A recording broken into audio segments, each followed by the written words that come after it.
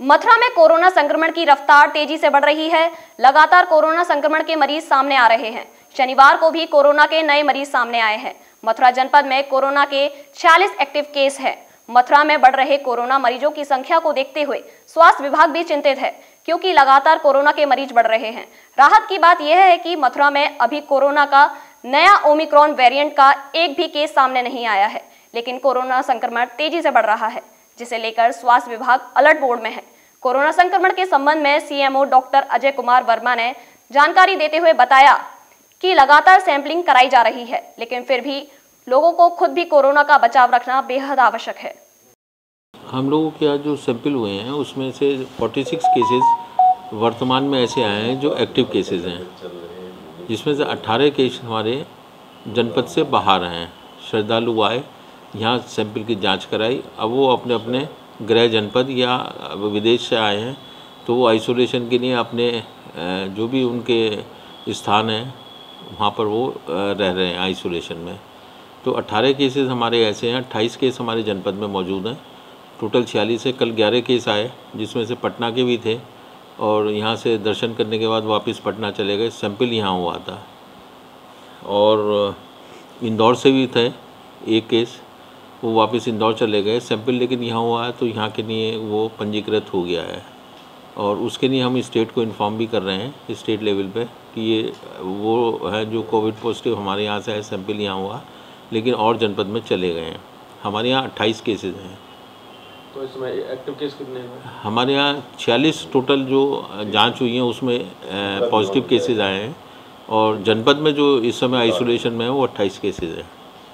स्वास्थ्य विभाग कोविड को लेकर के क्या सतर्कता देखिए, मैं इसमें यही कहना चाहूँगा कि सबसे पहले हमें कोविड प्रोटोकॉल का सभी से अनुरोध है कि कोविड प्रोटोकॉल का पूरा पालन करें। हम लोग बहुत अच्छी मात्रा में लगभग चार हज़ार की सैम्पलिंग भी करा रहे हैं। सभी ऐसे स्थानों से सैम्पलिंग करा रहे हैं जहाँ भीड़ या श्रद्धालु आते हैं, मंदिर वगैरह में, वहाँ सैंपल करा रहे हैं। हमारे कुछ रेलवे स्टेशन के भी हमारे पॉजिटिव केसेस आ रहे हैं, जो रेलवे स्टेशन पर हमारी सैम्पलिंग हुई है। बहुत सारे केसेस हमारे ऐसे हैं जो कॉन्टैक्ट्स में हैं कॉन्टैक्ट की वजह से पॉजिटिव आए हैं। कुछ विदेश से भी लोग आए हुए थे, जो गुड़गांव में इस समय रेस्ट कर रहे हैं आइसोलेशन में है।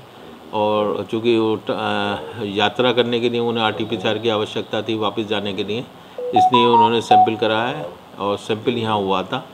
जाँच रिपोर्ट उनके जाने के बाद आई है। तो मैं यही अनुरोध करूँगा, इससे डरने की ज़रूरत नहीं है। इतना भयानक रूप नहीं है। और ऑल ओवर वर्ल्ड हमें यही जो हमारा अनुभव है, वो यही कह रहा है कि केसेस में बढ़ोतरी हो सकती है। फैलता बहुत तेज़ी से है। वायरस इस समय जो लहर लहर है। लेकिन बहुत ज़्यादा इसका फैटल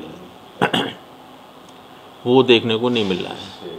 हमारे सारे ही मरीज़ स्वस्थ हैं। डेली उनको आरआरटी के माध्यम से और आई ट्रिपल सी के माध्यम से उनसे संपर्क किया जा रहा है। सब, मैं भी सभी केसेस से प्रतिदिन संपर्क कर रहा हूँ। ओमिक्रॉन का कोई नहीं अभी तक कोई भी जाँच में हमारे जीनोटिक स्टडी में जेनेटिक स्टडी में हम लोगों को ओमिक्रॉन की सूचना नहीं प्राप्त मथुरा में भी कोरोना संक्रमण की रफ्तार तेज होती जा रही है यानी कि लगातार कोरोना के मरीज़ सामने आ रहे हैं।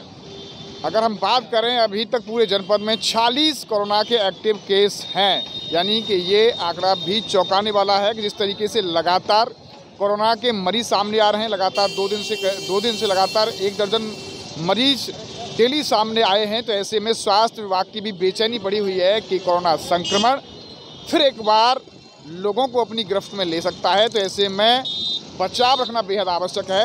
हेल्थ विभाग द्वारा कहा जा रहा है कि लोगों की सैंपलिंग कराई जा रही है, बाहर से आने वाले लोगों पर भी निगरानी है, लेकिन लोग कोरोना से बचाव के लिए जो कोविड के प्रोटोकॉल के जो उपाय हैं, उन्हें ज़रूर फॉलो करें। मास्क लगा कर रहें दूरी बनाकर रहें, भीड़ से बचें, लेकिन लोग बेपरवाह हैं। कोरोना के प्रति जागरूक नहीं दिखाई दे रहे हैं, क्योंकि स्वास्थ्य विभाग लगातार कह चुका है कि सावधानी बरतना आवश्यक है। फिर भी लोग सावधानी नहीं बरत रहे हैं और कोरोना फिर एक बार गति पकड़ रहा है। तो ऐसे में सवाल ये भी है कि जागरूक रहें, सजग रहें, खुद को बचाएँ, दूसरों को भी बचाएँ। तो इसलिए कोविड के प्रोटोकॉल का पालन ज़रूर करें। न्यूज़ का पर्सन गोपाल जग्गा के साथ गोविंद भारद्वाज।